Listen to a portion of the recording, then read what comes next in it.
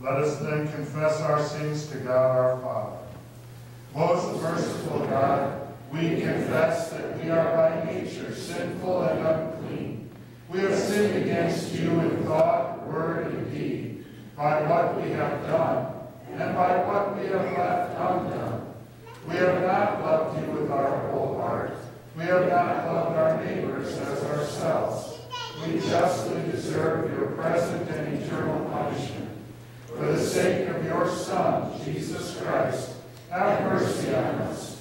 Forgive us, renew us, and lead us, so that we may delight in your will and walk in your ways, to the glory of your holy name.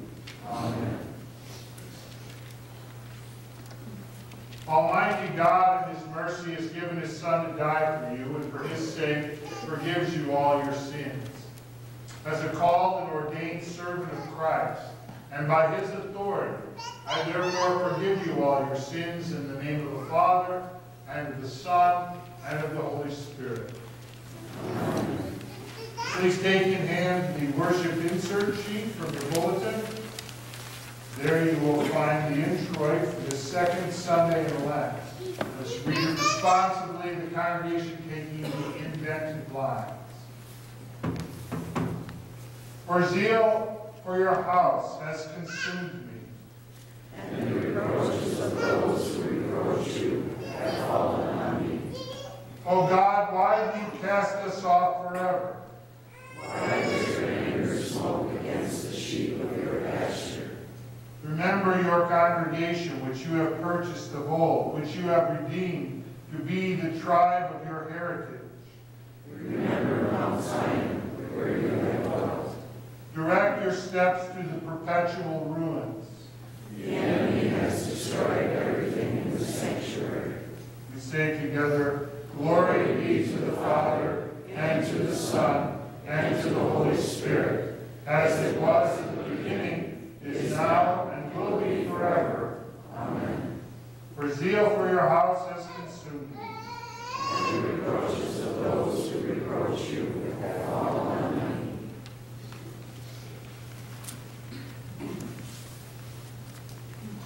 In peace, let us pray to the Lord. For the peace from above and for our salvation, let us pray to the Lord.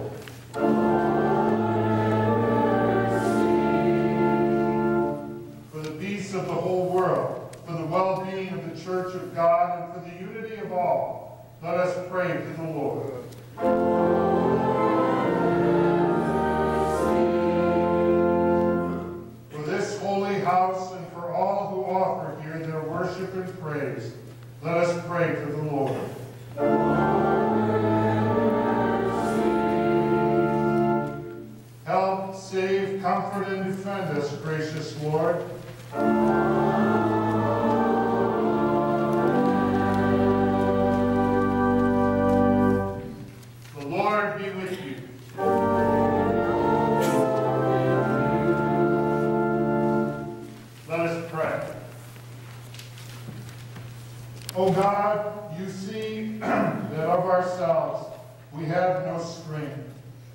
Mighty power, defend us from all adversities that may happen to the body and from all evil thoughts that may assault and hurt the soul.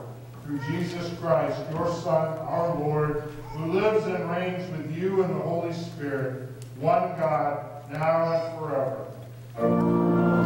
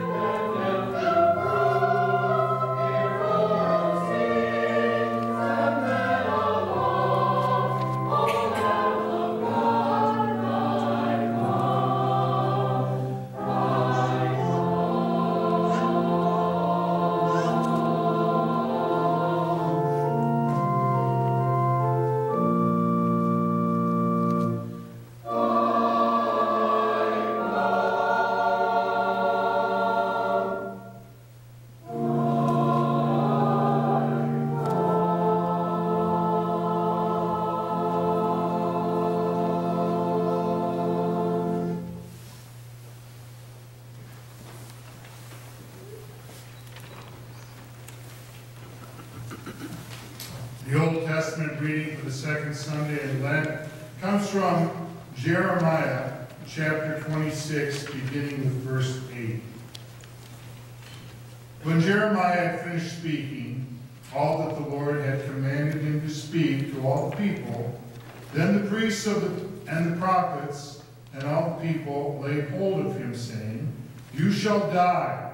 Why have you prophesied in the name of the Lord, saying, This house shall be like Shiloh, and this city shall be desolate, without inhabitant? And all the people gathered around Jeremiah in the house of the Lord. When the officials of Judah heard these things, they came up from the king's house to the house of the Lord, and took their seat in the entry of the new gate of the house of the Lord. Then the priests and the prophets said to the officials and to all the people, This man deserves the sentence of death, because he has prophesied against this city, as you have heard with your own ears. Then Jeremiah spoke to all the officials and all the people, saying, The Lord sent me to prophesy against this house and this city all the words you have heard. Now therefore, mend your ways and your deeds, and obey the voice of the Lord your God, and the Lord will relent of the disaster that he has pronounced against you. But as for me, behold, I am in your hands. Do with me as seems good and right to you. Only know for certain that if you put me to death, you will bring innocent blood upon yourselves and upon this city and its inhabitants. For in truth the Lord sent me to you to speak all these words in your ears. This is the word of the Lord. Please turn over the front side of your worship insert sheet at the bottom. We will speak responsibly the gradual. Oh, come, let us fix our eyes on Jesus. Who for the joy that was set before him endured the cross, despising the shame.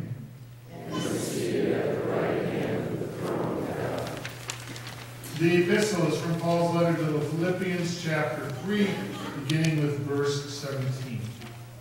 Brothers, join in imitating me, and keep your eyes on those who walk according to the example you have in us. For many, of whom I have often told you, and now tell you even with tears, walk as enemies of the cross of Christ. Their end is destruction, their God is their belly, and they glory in their shame, with minds set on earthly things. But our citizenship is in heaven, and from it we await a Savior, the Lord Jesus Christ, who will transform our lowly body to be like his glorious body, by the power that enables him even to subject all things to himself. Therefore, my brothers, whom I love and long for, my joy and crown, stand firm thus in the Lord, my beloved. This is the word of the Lord. Thanks be to God. Let us rise in honor of our Lord for the reading of the Holy Gospel.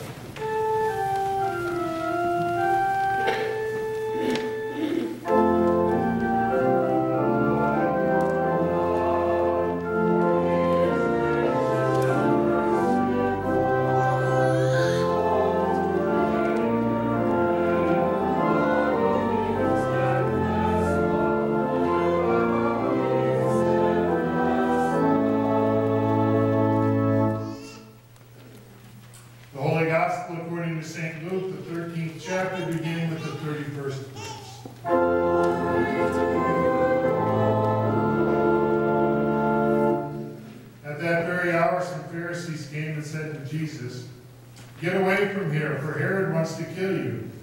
And he said to them, Go and tell that fox, Behold, I cast out demons and perform cures today and tomorrow, and the third day I finish my course.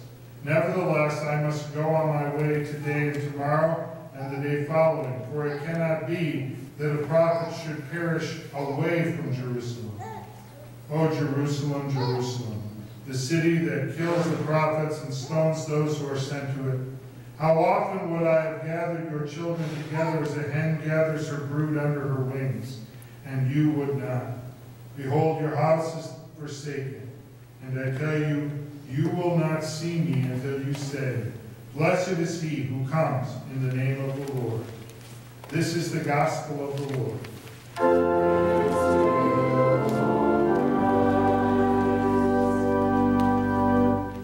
You may be seated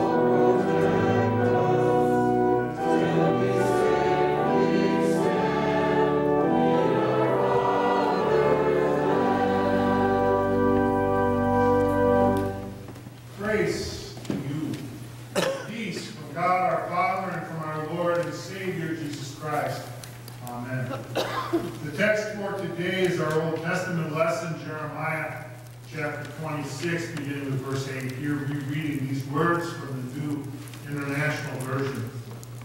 Then Jeremiah said to all the officials and all the people, The Lord sent me to prophesy against this house and the city all the things you have heard.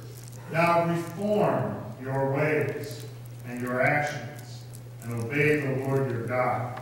Then the Lord will relent and not bring the disaster he has pronounced against you. This is our text. Dear friends in Christ Jesus, although this is the second week of Lent and the festival of the Reformation isn't until the end of October, I would like to say something about the Reformation very briefly. What I want to do is clear up a common misconception about that many Christians have, and maybe even many Lutherans. Many people look back at Martin Luther's activities during the 16th century and come away with the impression that Dr. Luther did everything he did in order to form a new church that bears his name. The usual interpretation is, oh yeah, Martin Luther, he's the guy who broke away from the Catholics to form his own church.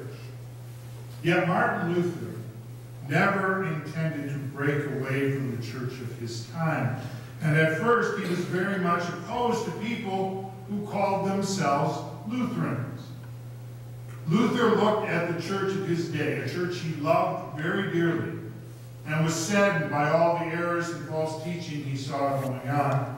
When he turned to the scriptures, he saw the way that God intended the church to be. And so he started to preach and teach God's word of truth to try to bring people back. His intent was not to break away, but to reform his beloved church so that it would return to what the Lord wanted. Of course, as we know from history, Luther's teachings were branded as radical and heretical. Despite all the evidence from God's Word, Luther's teachings were flatly rejected. Try as he might, Luther could not get the church of his day to reform. Then and only then, when he saw that reformation within the church would not happen, did Luther see that a new church must be formed, a church that looked to God's pure word as its only source of doctrine and teaching. Now, why the short history lesson? Well, with next year being the 500th anniversary of the Reformation, Martin Luther has been on my mind. And I guess when I read our text for today, today's Old Testament lesson, I was struck by how similar Jeremiah and Luther must have felt. Both were proclaiming God's word. Both were calling on God's people to reform from error and false belief. And both were soundly rejected by the religious leaders of their day. Christ our Lord also faced the same situation. Confronted with reform or rejection, rejection always seems to win out. And things haven't changed much over the years. Throughout the centuries, God has spoken his word to mankind. He has called upon people to reform their lives, to follow what he says and live in his image. And yet, his word has usually been despised and rejected by people who feel secure in their own beliefs. Scripture tells us that in these last days, God has spoken to us directly by his Son and so it would follow that Christ, God's incarnate Word, the Word made flesh, was and still is rejected. Just as Isaiah wrote centuries ago, he was despised and rejected by men. Every time that we are confronted with God's Word, we are faced with two choices rejection or reform. In the message of Lent, Christ our Lord encourages us so that we will not disown his word, but instead let it reform our lives. I think it is interesting, yet tragic, that God's word is so often despised and rejected by those who call themselves Christians. That's right, it's, it's not only those outside of the church who are turning a deaf ear on the message of the scriptures, it's also many within. Take a look, for example, at the situation in our text. Jeremiah was opposed, not by the surrounding pagans, not even by the common people, but by the priests and the prophets of the Jews. We would think that they should have known better. Why were they so blind to what was happening? It was because of a blind trust they had, or a misplaced trust, I should say. They thought that as long as the temple stood, they were safe. Sad, ignorant, and dangerous, but true. They had traded their faith in a living personal God for an insurance policy that stated that as long as that building over there is standing, I'm safe to believe or do anything I wish. When God's spokesman, Jeremiah, warned them what was going to happen to them in their temple because of their idolatry and their other acts of unrighteousness, when he warned them that they must reform before it's too late, they were outraged. They rejected what Jeremiah said, and they didn't want to hear anymore. They wanted God's word silenced among them. Jeremiah's situation is really quite similar to the story of our Lord's Passion, the focus of our Lenten preparation. Fulfilling his role as prophet, Jesus proclaimed God's word of warning to the people. He too preached a message of reformation, of leaving behind early attempts to try and earn God's favor, and instead being saved by faith in Christ himself as God's anointed Messiah.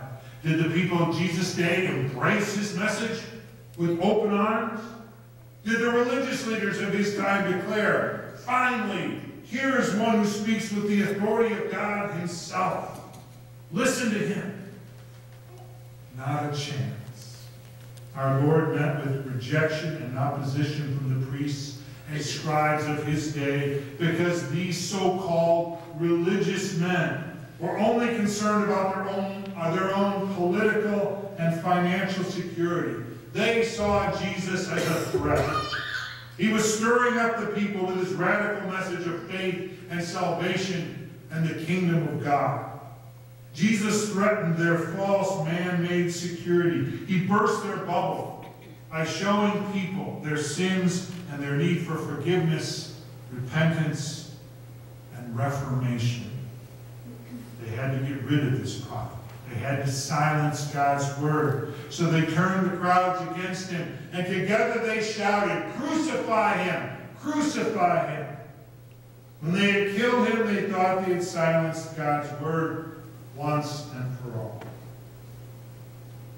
Jesus is still despised and rejected by people today.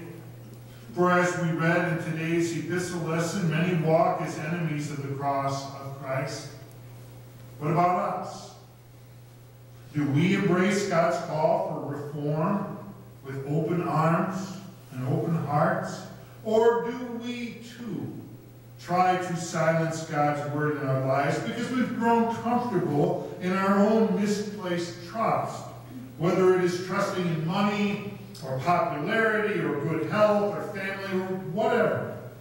How many of us are like that rich young man who once gladly heard all of Jesus' teaching and then asked Jesus, What do I have to do to be saved? Jesus said, You are seeking after the truth. And that is great.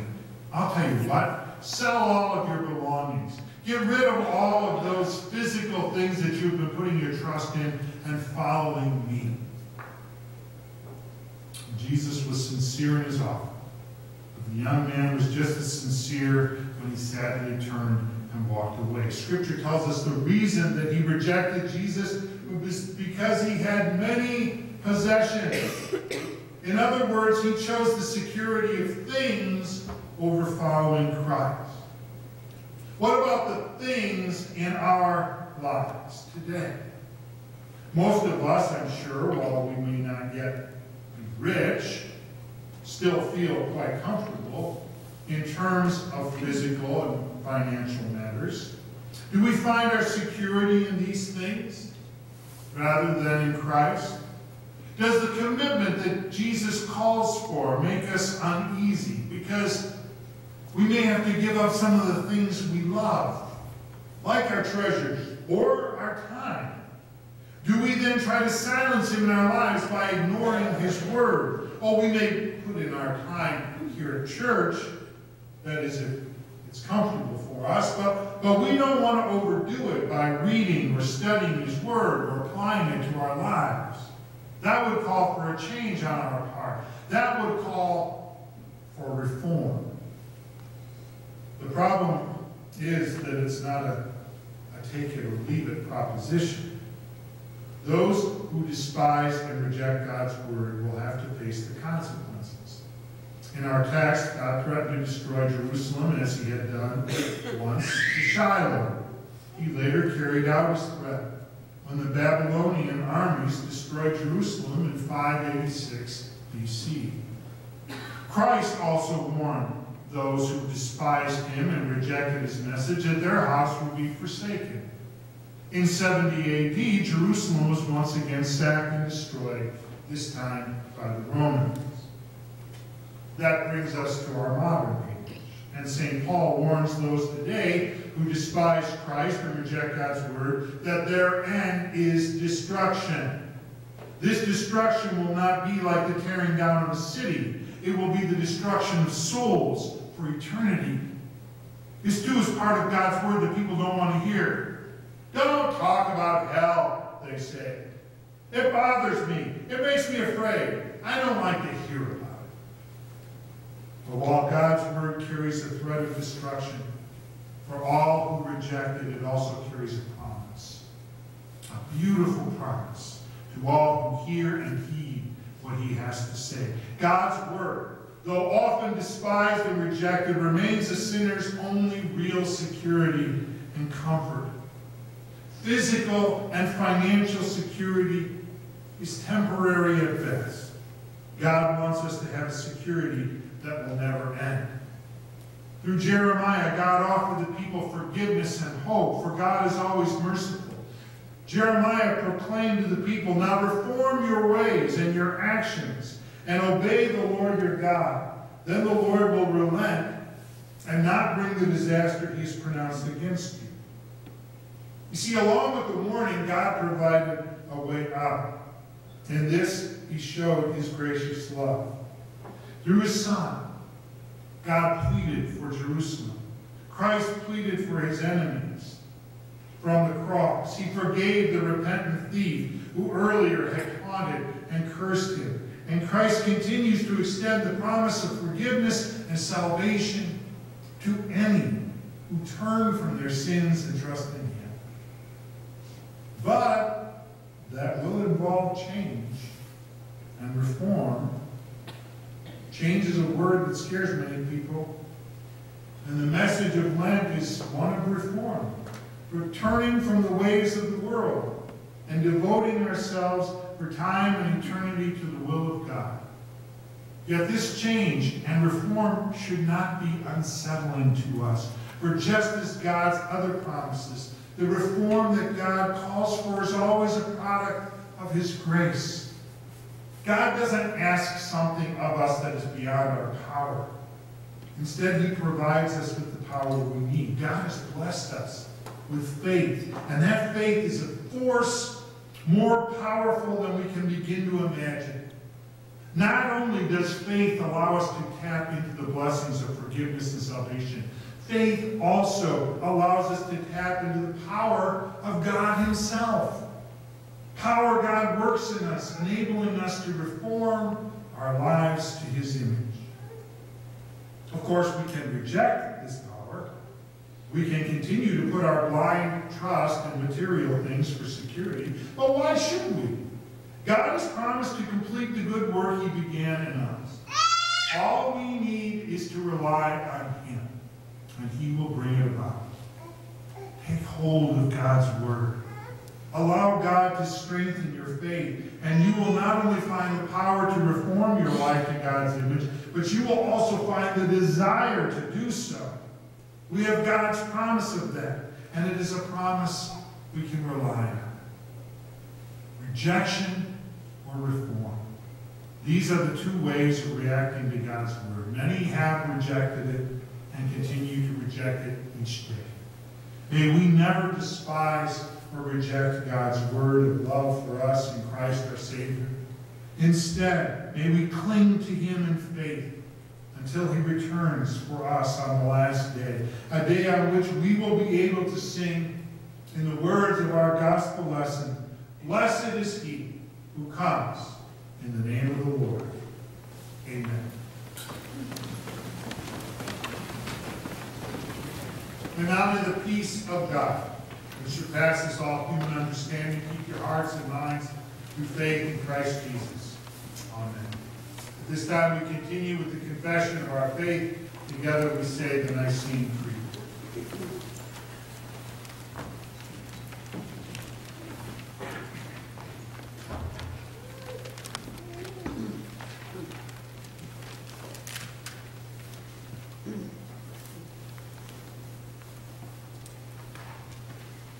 We confess together, I believe in one God, the Father Almighty, maker of heaven and earth, and of all things visible and invisible, and in one Lord Jesus Christ, the only begotten Son of God, begotten of his Father before all worlds, God of God, light of light, very God of very God, begotten, not made, being of one substance with the Father, by whom all things were made, who for us men and for our salvation came down from heaven, and was incarnate by the Holy Spirit and the Virgin Mary, and was made man, and was crucified also for us under Pontius Pilate.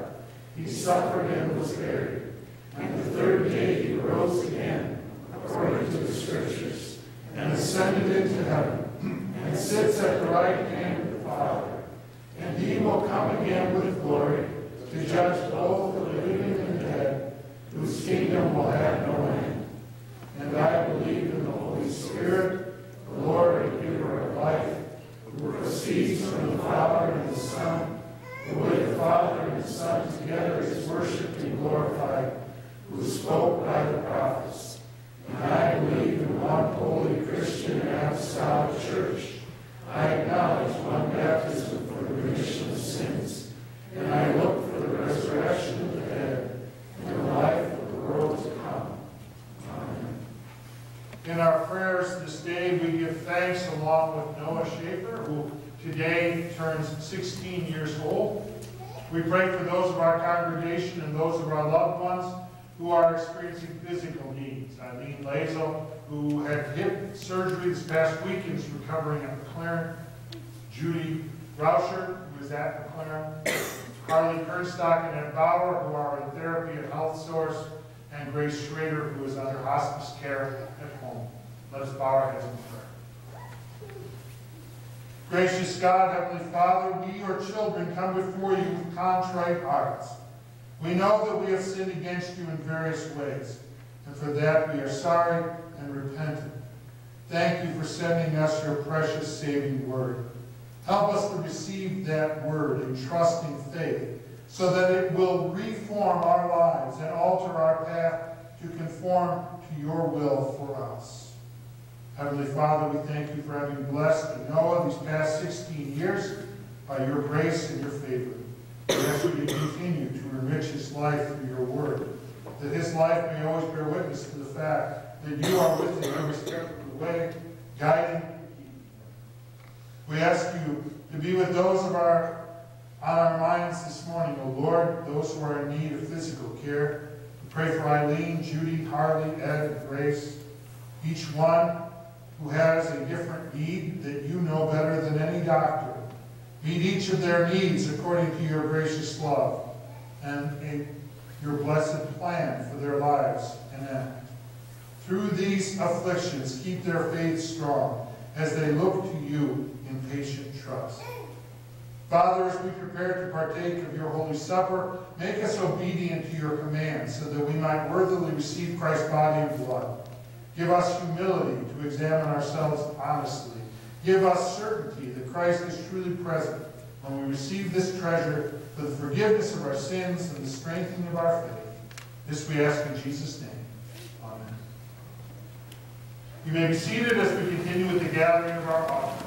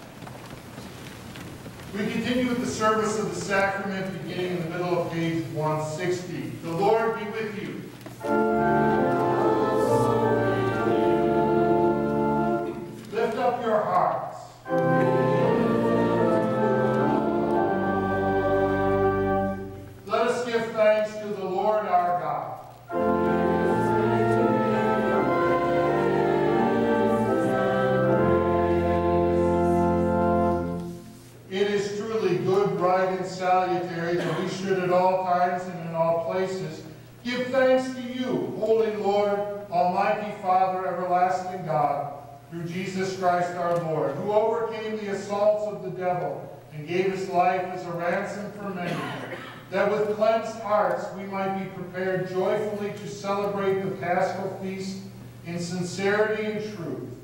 Therefore, with angels and archangels, and with all the company of heaven, we laud and magnify your glorious name, evermore praising you and saying,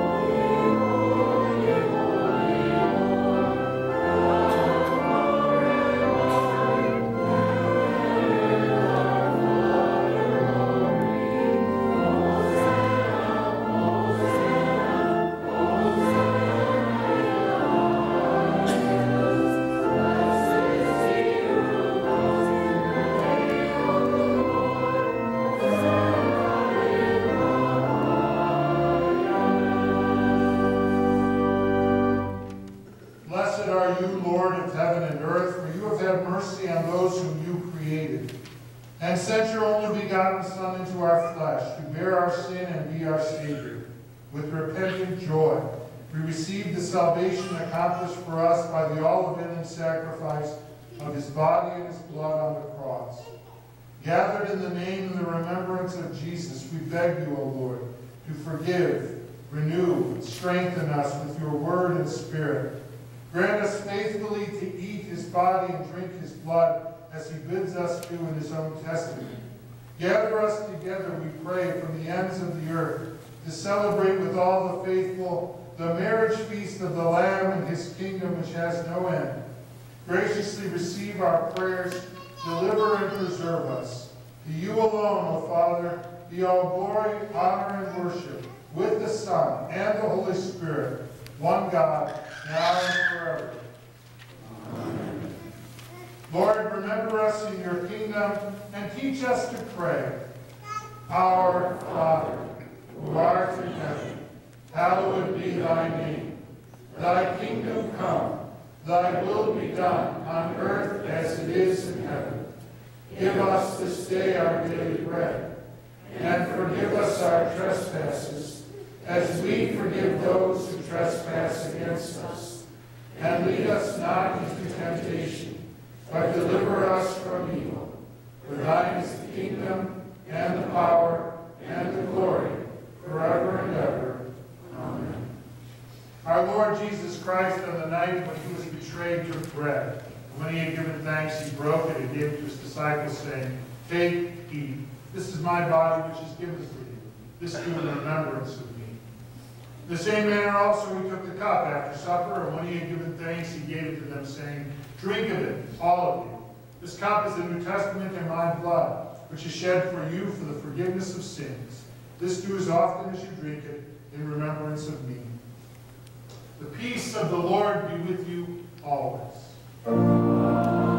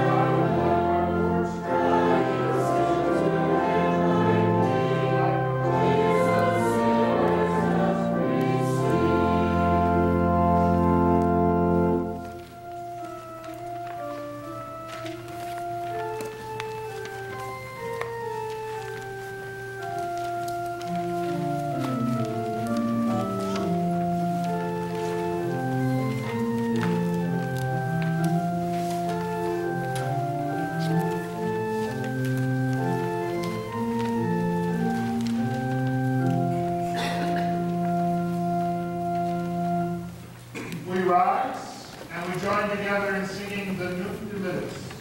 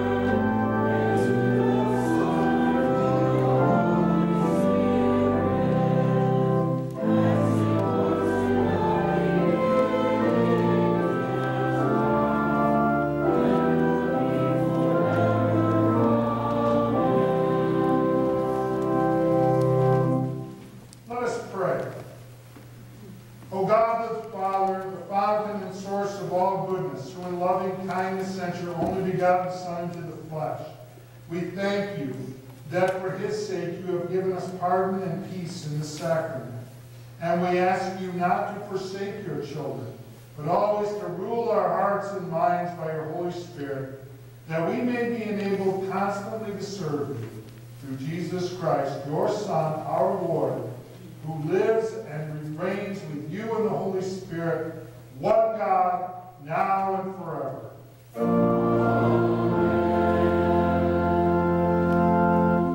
The Lord bless you and keep you. The Lord make his face shine upon you and be gracious unto you. The Lord lift up his countenance upon you and give you peace.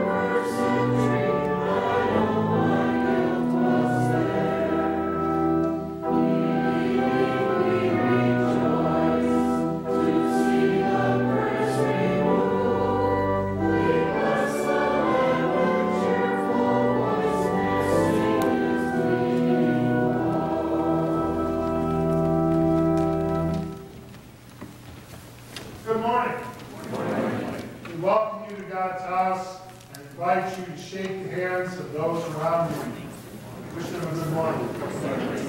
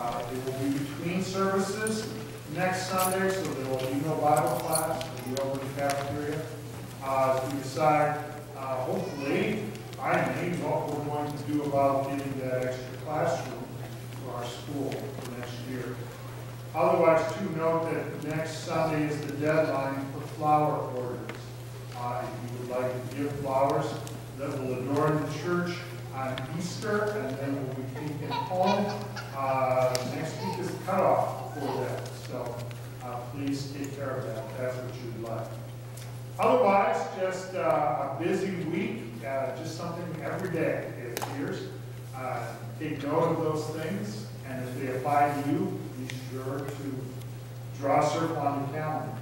May the Lord watch over you and bless you. May His word work within you, to comfort you, to strengthen you, and allow your life to reform, to conform more and more to His blessed plan.